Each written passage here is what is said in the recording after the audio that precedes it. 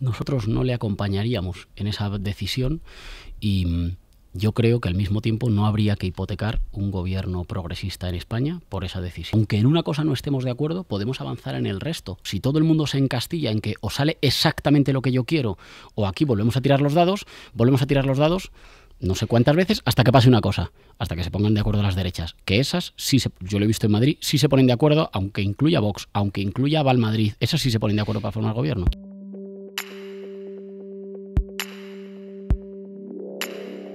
Si Pedro Sánchez quiere buscar la opción de la abstención o de algún acuerdo con Rivera o con Casado, con Casado y con Rivera, em, bueno, pues está en su derecho, pero entonces no va a contar con nosotros.